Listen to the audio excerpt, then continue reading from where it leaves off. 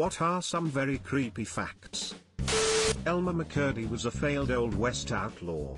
His preserved body was put on display in a traveling carnival and years later he was eventually assumed to be mannequin until he was used on set for the TV show The Six Million Dollar Man.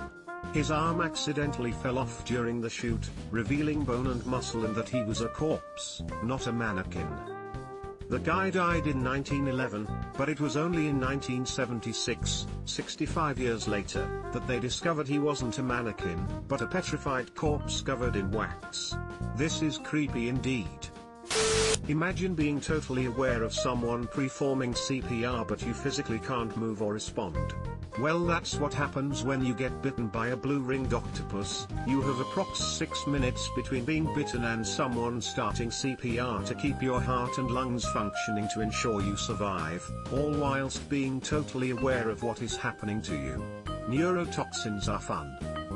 The really creepy thing about this is one story of a guy who got stung, got CPR performed on him and survived.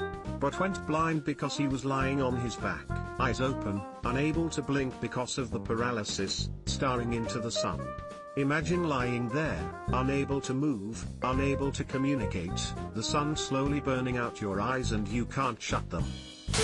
The human body can be drained of blood in 8.6 seconds given adequate vacuuming systems. Not everyone can afford a Dyson. The astronauts aboard the Space Shuttle Challenger most likely didn't pass until they hit the water miles below the initial explosion. Astronaut and NASA lead accident investigator Robert Overmyer said, I not only flew with Dick Scobee, STS-51 Lita commander, we owned a plane together, and I know Scob did everything he could to save his crew. Scob fought for any and every edge to survive. He flew that ship without wings all the way down, they were alive. One reason that crows and ravens are associated with death is because they would often follow armies as they marched to battle. Being both carrion birds and extremely intelligent, they realized that a large group of armed men marching on one direction meant that there would be a tasty meal of corpses to eat soon afterwards. That's actually pretty neat. I'd like to subscribe to Crow Facts thanks. Many delicious eyeballs to feast upon. There's a spider that gives you a 3 hours long boner, before you die from its bite. If it bites you you might as well dick slap it into next week.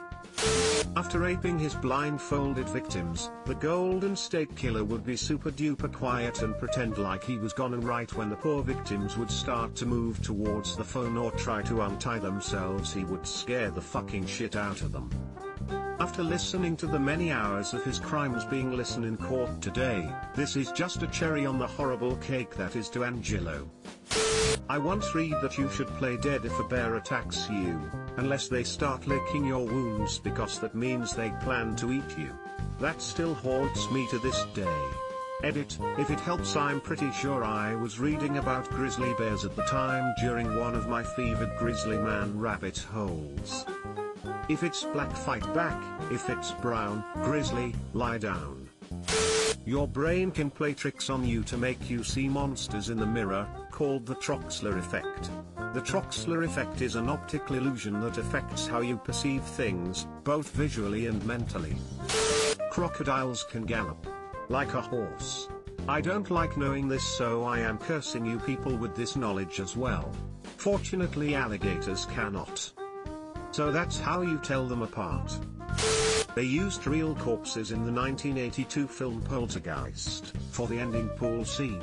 The actress did not know until after the scene was filmed. Not just Poltergeist, but up until the last few decades actual skeletons and bodies were used in Hollywood productions simply because it was cheaper than hiring prop guys to do it. Any old movie you watch, chances are the skeletons are real because you could saunter into any old medical supply store and buy a whole disused skeleton from a university medical department for a reasonable price. Female mummies in ancient Egypt were always more decomposed than their male counterparts. They discovered that this was because male bodies were embalmed a lot sooner than female bodies. Female bodies were kept at the family home until they started to decompose in order to avoid necrophilia at the embalmers. Well that escalated quickly. How could anyone possibly know this? A single tiger has killed over 436 people in India. How many has a married tiger killed? There are upwards of 300 active serial killers in the world. Seems low honestly. 300 is a lot but out of 8 billion? Famous last words though. The part that's insane to me is that people like BTK and Willie Pickton were caught post 2000, but were active for a long time decades prior. To me that means there have to be some people out there today that have a high body count and haven't been caught yet. According to Abe Lincoln's bodyguard Crook, he said Lincoln had a dream about his own assassination three nights in a row before he was killed.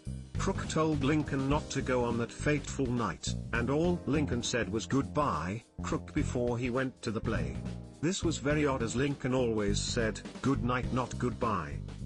The last witness to Lincoln's assassination was interviewed on TV in the 1950s. Albert Fish, the serial killer, loved eating poop. I feel like that's the least creepy thing about Albert Fish. Sense of impending doom is an actual symptom that often precludes your death, usually in cases of heart attack.